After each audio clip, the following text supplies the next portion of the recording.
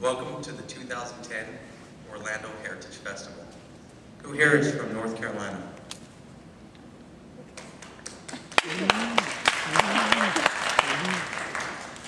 Glad to have you here today.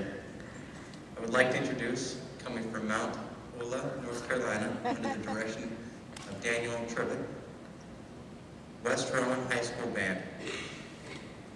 Is your time to clap.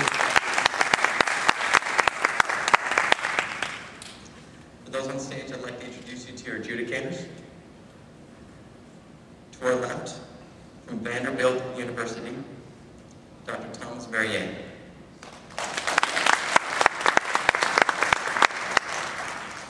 In the middle, from the University of Central Florida, John Almeida.